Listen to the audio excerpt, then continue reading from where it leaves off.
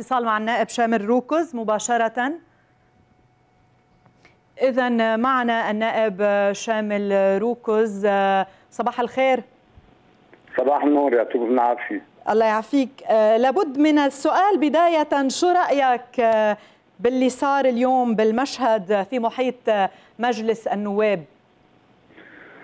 رأيي أول شيء على المستوى الشعبي إنه الشعب قال كلمته والنواب هن ممثلين الشعب المفروض يكون صوت الشعب هو الصوت الأول والصوت الأعلى وهيك كان. هي على المستوى الشعبي. على المستوى المجلس النيابي المستوى الدستوري أنا بعتقد كان المفروض تكون الجلسة للجان النيابية مش جلسة تشريعية، الجلسة للجان النيابية تمشي الأمور بالمجلس النيابي بطريقة صحيحة واللجان تقدر تشتغل شغلها. والمجلس بيتعاطى مع الموازنة. هلأ سابقا انخلطوا اثنين ببعضهم كنا بنتمنى كانوا ينفصلوا وكانت الأمور بتمشي بطريقة أسهل وأسلس وأحسن ولا آه، كرامة المجلس النيابي ولا كرامة النواب ولا حسن سير الأمور. لو كانوا مفصولين ساعة النائب كنت فتت كنت جيت على الجلسة كنت شاركت؟ لو كانت اللجان لحالها صح لأنه اللجان لحالها يعني مفروض تمشي. الموازنة تبلش المجلس النيابي يناقش الموازنة. نعم. ولكن الشعب يقول هلا مش وقت موازنة ومش وقت لجان. هلا وقت تسمية رئيس حكومة. الشعب ما قال مش وقت موازنة قال مش وقت تشريع مش بوقته. نعم. نحن بنعرف مضبوط الشعب شو قال وهي الحقيقة. التشريع مش بوقته ولا عفو العام وقته. هلا بعدين هذا منه موضوع بحث بده شغل كثير هذا أساسا أنا ضده من زمان يعني منا جديدة. نعم. تحديدا النقاط اللي الموازنة موضوع دقيق وحساس.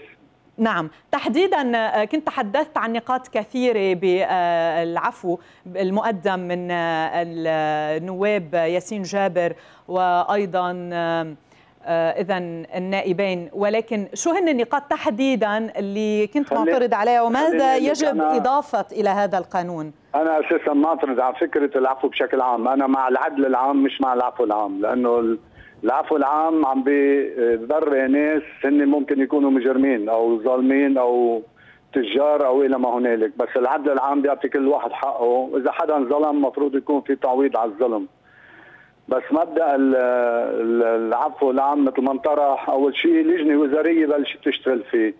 اللجنه الوزارية كانوا ممثلين ممثلين فيها كلهم. بعدين تنكروا له هي أول شغلة. نعم. ثاني شغلة وصل لعند الزميل ياسين جابر. كمان هو قال وصل له تنكر له يعني منه شايفه لأنه متبناه أساسا. وصل هلا على المجلس النيابي. نحن بنفوت من من صوت منه متبناه للعفو العام مش هو اللي مقدمه؟ مقدمه بس هو تبرى منه إنه أعطيه ليه اللجنة الوزارية قال له مر هو هلا بالمجلس النيابي على سبيل العجلة، هذا موضوع خطر كثير ولا ممكن ينعمل على سبيل العجلة، هذا بده يندرس إلى أقصى الحدود. إذا في ناس مظلوم أنا شخصيا ضد الموضوع نهائيا. نعم. بس إذا في ناس بدهم يجربوا يستفادوا منه ناس يكونوا عندهم مظلومية معينة يستفادوا منه. نعم. وما ما بعتقد إنه باللي موجودين بالسجون المحاكمة ظلمتهم مفروض نسرع المحاكمات ونعوض على الناس اللي ممكن يكونوا مظلومين مش نطلع عفو عام نظلم الناس اللي انظلموا قبل بجرايم نرجع نظلمهم مرة ثانية بالعفو. نعم آه، آه، عميد آه، لابد من السؤال إنه تم يعني سحب مادة قديمة من من المواد لتمديد اللجان. هل راضي عن هيدي الخطوة اللي قام بها الرئيس؟ سحب مادة قديمة ل... يعني لتمديد اللجان بحكم إنه ما قدروا اجتمعوا مادة من عام 90 لا إذا بدك هذا الاجتهاد اللي عمله الدكتور إدمون رباط. نعم صحيح. مضطرين لأنه لعمل المجلس بدأ درس الموضوع. ماني أكيد منه بس أنا اللي كنت بتمناه ينعمل جلسة خاصة للجان لحسن سير الأمور بمجلس النيابة تكون حل حل الوضع اللازم الموجودين فيها وانحلت الأمور كلها. بس صار اللي صار إنه بالنتيجه عمل المجلس لازم يمشي. تنشوف بدها درسه تنشوف شرعيتها وقانونيتها. يعني ما عندي المام بهذا الموضوع بشكل خاص هلا بسرعة. نعم هل برأيك اللي صار اليوم هو انتصار جديد للثورة؟ أكيد بالنتيجة انتصار جديد للثورة هذا شعب والشعب عم بيعطي رأيه بالموضوع. وبعدين مثل ما قلت لك إنه في أمور كثير مطروحة كانت على التشريع إنه مش وقتها هلا ولا ولا لزوم المستعجل المستعجل كان هي اللجان. كان المفروض فصلها عن بعضها المجلس يتعاطى بالموضوع وبعد الثورة الشعبية كانت متفهمة الموضوع. نعم. بس اللي صار إنه اللي صار بعتقد كان مش وقته غلط والناس قالت كلمتها. وأكيد ممثلين الشعب المفروض يعتبروا صوت الناس صوت مقدس ويحترموه هل برأيك هيدا هالخطوه اللي صارت يمكن سوء إدارة للأزمة الموجودة بالبلد؟ كيف بتقيم هيدا الوضع؟ خساره للازمه سوء إدارة. سوء إدارة. إيه مضبوط الأمور فاتت بعدها كلها سوا. وعم بيجربوا يطلعوا من موضوع معين مش عم بيعرفوا يطلعوا. يعني بيعملوا الشغلة بتصير اسوء من ال... يعني تيطلعوا من المشكلة. بيعملوا مشكلة جديدة. هذه هي التخبط اللي عم بيصير. نعم. المفروض الأمور بأسرع وقت ممكن تمشي طالما إنه معقدة معقد الجو السياسي وخاصة أمور الاستشارات، يصير استشارات سريعة يتعين يتكلف رئيس حكومة.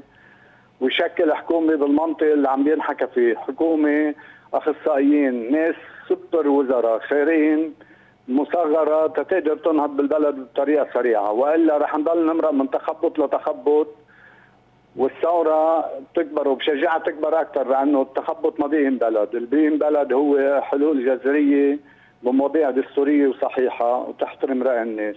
نعم.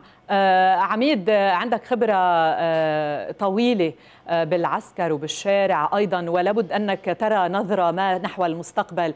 إذا لم يكن هناك أي خطوة من قبل السلطة كيف ترى الشارع؟ إلى أين سيذهب الشارع برأيك؟ أكيد الشارع مفروض يضبط حاله بحاله أنه الفوضى بالشارع مسموحة بظروف ثورة مثل هيدي بس إنه بدهم ينتبهوا للشرود بمحل ما. نعم. وخاصة الشرود اللي بيبقى له طابع هيك قديم بروس الناس إنه شرود فوضى أو ميليشيا يصيروا يتصرفوا بطريقة سيئة. نعم. وخاصة بالنسبة للجيش والقوى الأمنية مفروض احترامهم بالوقت ذاته. أكيد أنا أنه إذا رح يضل التخبط السياسي موجود هيك الثورة رح تتصاعد أكثر وتتوسع أكثر هذه أمور المفروض ننتبه لها. نحترم رأي الناس. رأي الناس هو الراي الصح لأنه رأي معاناه ونطلع من نظرية المؤامرات. نفكر إنه نخلص امورنا الداخلية بتخف علينا المؤامرات الخارجية. والا إذا بدنا نضل بهالطريقة هيدي أنا بقول لك الثورة رح تكبر أكثر ورح تصير الظروف أصعب وأكثر وأكثر وبعتقد نحن الموجودين الوضع الموجودين فيه هلا كثير معقد أكثر من وقت ما بلشت الثورة. نعم. كان ممكن الحلول بالأول توصل لنتيجة أسرع وأهين وأقل كلفة للبلد وللناس. نعم. هلا صارت أصعب بكثير يعني برأيك. صح. نعم. شكرا لك النائب العميد شامل روكز على المداخلة.